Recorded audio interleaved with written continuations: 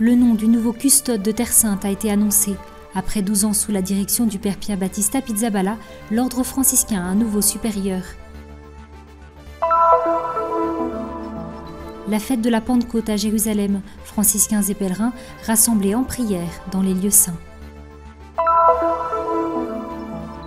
À Tabga, la communauté franciscaine et les chrétiens locaux ont célébré la fête de la primauté de Pierre, lorsque Jésus ressuscité apparaît aux disciples sur les rives du lac de Tibériade. En l'année jubilaire de la miséricorde, une rencontre a rassemblé les couples de Terre Sainte sur le mont des Béatitudes pour discuter de la miséricorde dans la famille. Des fonds seront bientôt utilisés pour nettoyer les terrains minés situés près du site du baptême de Jésus, un projet impliquant quelques églises de Jérusalem et l'ONG britannique Hallow Trust.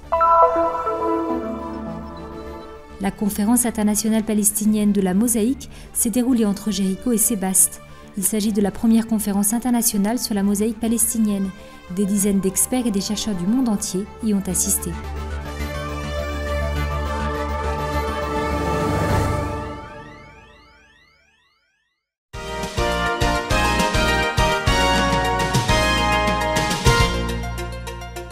Le définitoire général des frères mineurs, avec le consentement du Saint-Siège, a lieu comme nouveau custode de Terre Sainte le père Francesco Patton. Il succède au père Battista Pizzaballa, qui a assuré la charge pendant 12 ans. Le père Francesco Patton est né à Vigomeano dans le diocèse de Trente le 23 décembre 1963. Il appartient à la province franciscaine de Saint-Antoine en Italie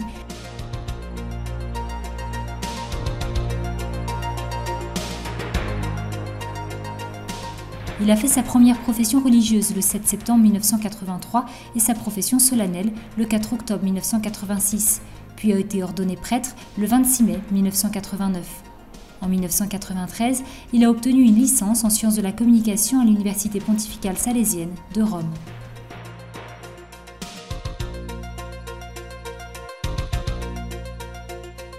Il a occupé divers postes dans sa province et également au sein de l'ordre, notamment président de la conférence des ministres provinciaux d'Italie et d'Albanie, membre du conseil presbytéral diocésain et secrétaire du conseil diocésain de l'archidiocèse de Trente, professeur aussi en communication sociale au séminaire théologique académique de Trente.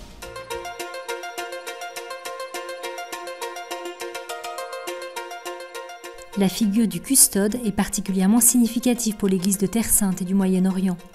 En plus d'être à la tête de la custodie, considérée comme la première mission de l'ordre des frères mineurs, il fait également partie de l'Assemblée des ordinaires catholiques de Terre Sainte, qui réunit tous les évêques et les vicars épiscopaux catholiques de rite latin et oriental. En Terre Sainte, la présence des franciscains est attestée depuis le XIIIe siècle. Le custode au nom de l'Église catholique porte la charge de la plupart des lieux de l'incarnation de Jésus. Il a aussi le devoir d'accueillir dans les 55 sanctuaires sous sa juridiction les pèlerins et les touristes étrangers, transformant leur expérience de la Terre Sainte en celle du cinquième évangile, comme l'a dit le pape Paul VI.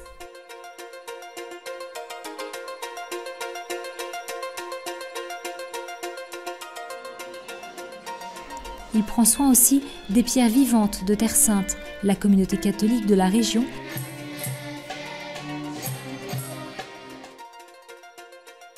et l'interlocuteur des autres églises dont les relations sont réglées par le statu quo, un accord en vigueur depuis le XIXe siècle. Le territoire de la custodie s'étend dans divers pays, Israël, la Palestine, le Liban, la Syrie, la Jordanie, Chypre et Rhodes, ainsi que le Caire en Égypte avec le couvent des Mouskis. La custodie aux côtés de son supérieur assure du caractère universel de la terre choisie par Dieu.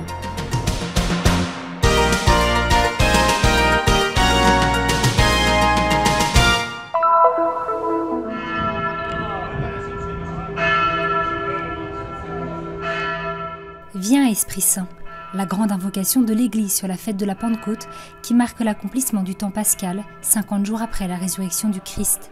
Un événement qui a rassemblé à Jérusalem la communauté locale et de nombreux pèlerins.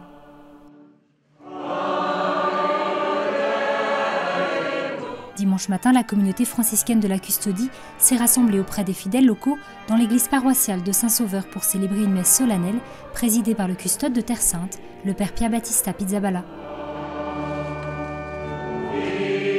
Dans l'après-midi à 4 heures, a été récitée la prière solennelle des Vêpres au Cénacle. Un événement qui a rempli les quelques mètres carrés de la chambre haute, qui n'est ouverte à la prière des fidèles qu'en de très rares occasions. En présence des pèlerins, le custode a longuement encensé la sainte pièce ainsi que l'icône représentant la Vierge avec ses disciples réunis en cet endroit.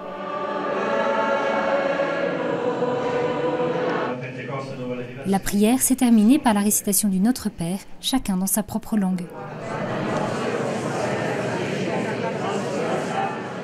Le Cénacle, en plus d'être le premier siège de l'Église naissante, est le lieu qui a abrité le premier noyau originel de la custodie de Terre Sainte. C'est ici que le supérieur de la custodie a pris le titre de gardien du Mont Sion. À la fin de la prière, la communauté franciscaine a offert au présent un moment de fête et de partage dans le jardin du Petit Cénacle. Un privilège todo especial e uma graça. C'est une grâce. On peut dire que la Pentecôte s'accomplit lorsque la personne humaine est ouverte pour recevoir l'Esprit de Dieu. Nous sommes ici, dans la chambre haute, pour un événement de toute beauté, la fête du partage. Telle est la joie des chrétiens unis dans l'Esprit du Seigneur. O congraçamento de todos, né? E essa alegria de estar sempre unidos no Espírito do Senhor.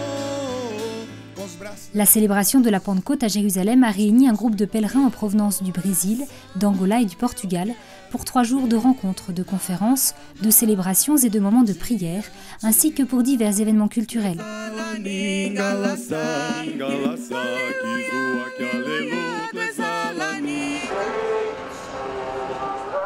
La procession qui a conduit les fidèles de l'Institut Notre-Dame à travers les rues de la vieille ville à la basilique de Gethsemane, où a été célébrée la vigile de la Pentecôte, est devenue une tradition.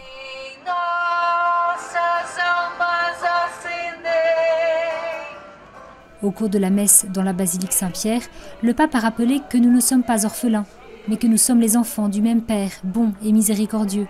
Notre ADN est d'être enfants de Dieu.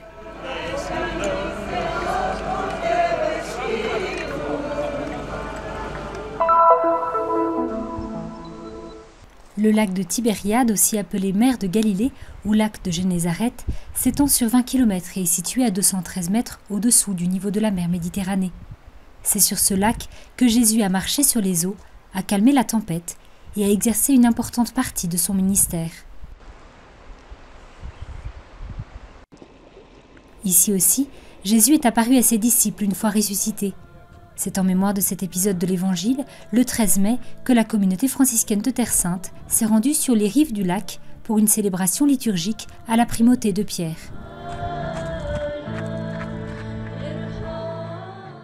L'Évangile raconte le moment où Jésus a marché sur les eaux et est allé à la rencontre de ses disciples qui avaient travaillé toute la nuit sans résultat.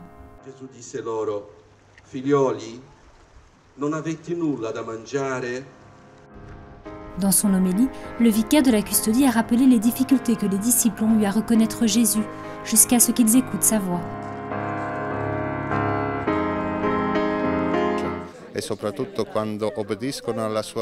C'est notamment au moment où ils ont obéi au conseil de Jésus de jeter leur filet sur le côté gauche du bateau qu'ils le reconnaissent. Jean a dit, C'est le Seigneur Et cela est aussi un message pour nous. Nous pouvons avoir de grandes difficultés à reconnaître la présence du Seigneur dans nos vies, en particulier dans les moments de souffrance ou de difficulté, mais si nous écoutons sa voix, le Seigneur se fait connaître. Et pour sentir sa présence, pour vraiment le reconnaître, il nous faut obéir dans la foi à sa parole. Ma per la sua presenza, riconoscerlo veramente, bisogna obbedire nella fede alla sua parola. Ont assisté à la célébration nombreux religieux de Terre Sainte et chrétiens arabes locaux.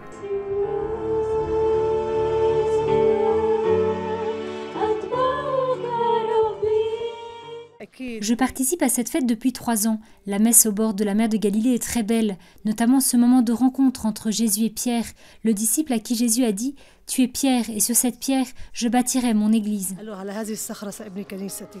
Les voix et les prières qui ont rempli ce saint lieu sont venues ajouter encore à la splendeur de l'un des plus beaux paysages de Terre Sainte.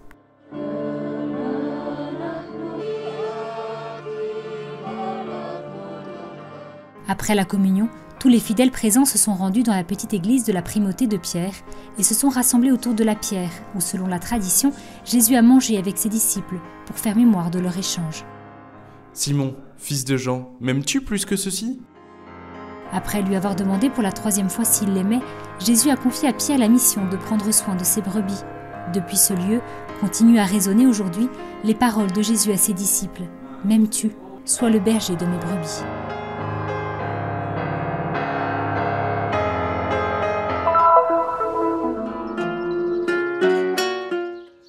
Une rencontre a rassemblé en Galilée plusieurs couples pour parler de la miséricorde dans la famille.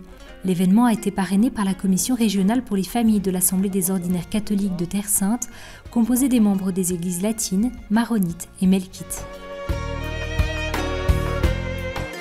La réunion a eu lieu à l'endroit où Jésus a prononcé le discours des béatitudes, dans lequel il parle de la miséricorde comme le chemin vers le bonheur. Le thème de la journée, dédié à la famille, a été présenté par le curé de l'église de l'Annonciation à Nazareth.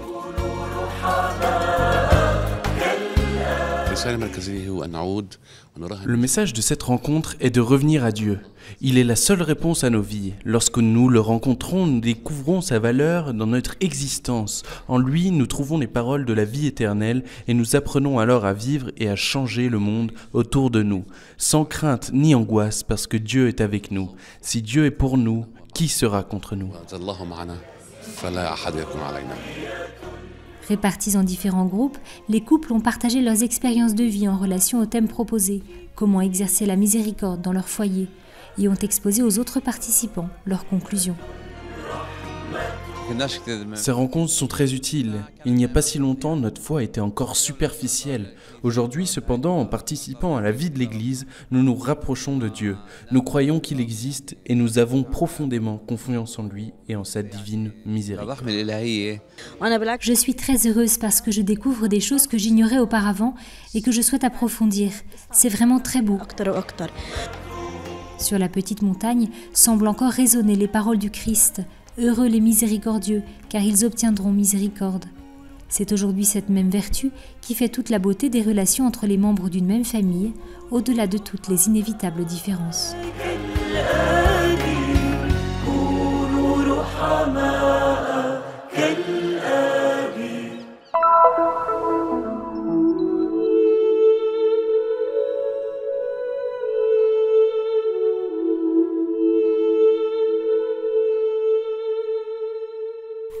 Le désert vibre de ce silence riche de sens, non loin de Jérusalem, sur les rives du Jourdain, où semble résonner encore l'écho des importantes scènes bibliques arrivées là. Un lieu saint, vénéré depuis des siècles, a été longtemps abandonné. Des champs de mines encerclent encore ce site qui fut le théâtre des soubresauts de l'histoire et des guerres, et où différentes ruines de monastères laissent imaginer les événements douloureux qui se sont succédés là des années durant. Nous sommes sur le lieu de baptême Qasr el Yahoud, une zone militaire fermée depuis le début des années 70, époque où l'armée israélienne l'avait déclarée zone militaire. Allo Trust est une organisation fondée en 1988 qui se consacre au déminage des terres, une question devenue d'ordre mondial, notamment lorsque la princesse Diana a marché dans un champ récemment déminé en Angola. L'organisation a été longtemps engagée dans cette région afin de promouvoir et de mettre en œuvre un projet au goût de liberté. C'est un projet approuvé par l'autorité nationale israélienne d'action anti-mine ainsi que par le Centre palestinien d'action anti-mine et qui a reçu la bénédiction des huit dénominations propriétaires des lieux.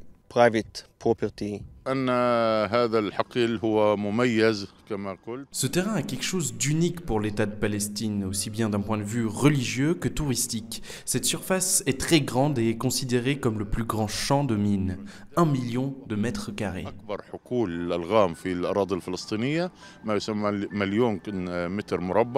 Huit églises de Jérusalem ont, des propriétés à cet endroit. Des vestiges témoignent encore d'une grande dévotion envers ce lieu qui célèbre le début du ministère public de Jésus. Um, Aujourd'hui, nous sommes parvenus, grâce à Dieu, à un accord, à un consensus et à une approbation mutuelle entre l'armée israélienne et l'autorité palestinienne, et avec bien sûr l'approbation du royaume hachémite de Jordanie, afin de développer cette zone et de la rendre accessible à tous les pèlerins. All uh, pilgrims Nous remercions Hello Trust qui a exprimé un grand intérêt à libérer cet endroit des mines qui sont là depuis des années à cause des guerres. Espérons qu'ils pourront déterminer la zone afin qu'elle puisse devenir un lieu sûr pour les pèlerins et les touristes. Un projet avec d'importantes répercussions qui voit la coopération étroite de toutes les églises de Jérusalem. Pour nous, cette initiative ainsi que le projet lui-même sont particulièrement importants parce qu'ils réunissent les principales communautés chrétiennes, les principales églises de Terre Sainte, dans une même réalité. En effet, nous sommes tous concernés aux côtés des églises grecques orthodoxes, arméniennes, syriaques, coptes, éthiopiennes, mais aussi des églises russes et roumaines. Nous souhaitons vivement et nous espérons que toutes les mines pourront être retirées afin que nous puissions à nouveau prier dans nos églises. Nous attendons depuis si longtemps que toutes ces mines soient retirées et c'est seulement aujourd'hui que nous commençons à entrevoir une solution à cette histoire. Un projet qui nécessite l'appui de tous. 4 millions de dollars, tels sont les fonds nécessaires à Allo Trust pour rendre ces terres à la vie un geste d'amour pour faire revivre ce lieu où Jésus a voulu nous enseigner le chemin de la conversion. Le soutien de tous est nécessaire, c'est très important. Pour cela, nous allons tout faire pour veiller à ce que notre peuple en Europe, aux États-Unis et au Moyen-Orient puisse soutenir ce projet, car il est important pour les pèlerins et pour nous tous. Uh, uh, because it's, uh, it is important for the pilgrims and uh, for all of us. Nous serons reconnaissants pour chacun des dons qui nous permettront de déterminer ces terres et qui permettront à tout le monde de revenir ici.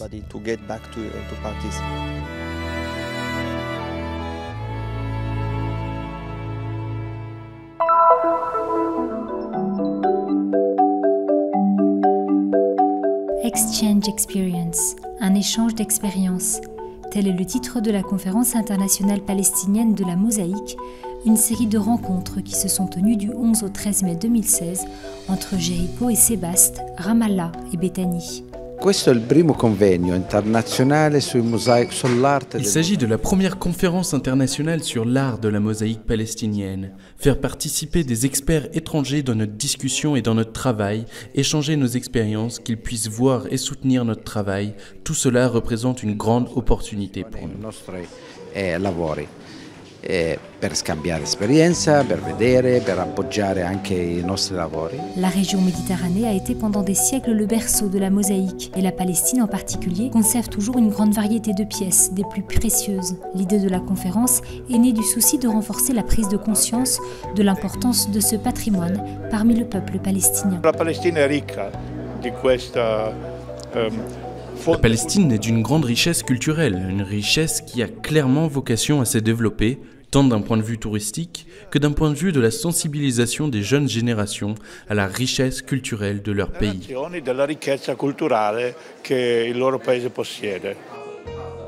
La conférence a été organisée par le Mosaic Center de Jéricho et par l'association Protera Sancta. Tout a commencé en 1999 quand le père Michele Piriccio, frère de la custodie du Studium Biblicum Franciscanum, a lancé un projet pour former un premier noyau de jeunes palestiniens à la restauration de la mosaïque, donnant naissance ensuite à deux réalités. Cette conférence nous permet 17 ans plus tard de faire le point et de voir où nous en sommes, Malheureusement, le père Pichirillo n'est plus parmi nous, mais nous continuons avec la même vision, la formation des jeunes garçons et des jeunes filles d'ici, la participation des enfants, la participation des femmes et la participation de la société civile dans la conservation du patrimoine. La conférence a été l'occasion de réunir des professeurs et des restaurateurs, des professionnels et des amateurs venus de Chine, des États-Unis, de Grèce, de Grande-Bretagne ou encore de France et d'Italie. Je tiens à remercier les responsables de la conférence à Jéricho, une ville importante en termes de tourisme et d'histoire. Il existe d'autres villes participantes, des villes notamment des pays européens comme l'Angleterre ou l'Italie. Ainsi, nous pouvons échanger des expériences et développer un art capable de rassembler différentes nations. Le programme a proposé de nombreuses interventions répondant à diverses questions et présentant quelques-uns des projets en cours. La rencontre a commencé le premier jour à Jéricho pour continuer ensuite à Sébaste, alternant conférences et visites de sites archéologiques pour admirer de plus près les œuvres palestiniennes et observer leur état de conservation. Nous sommes très heureux des résultats de cette rencontre et nous espérons qu'elle portera ses fruits. Cette conférence était l'édition 2016, nous serions heureux si nous pouvions avoir les éditions 2017, 2018, etc. Et que cela devienne un rendez-vous annuel pour échanger nos expériences afin d'accroître nos capacités.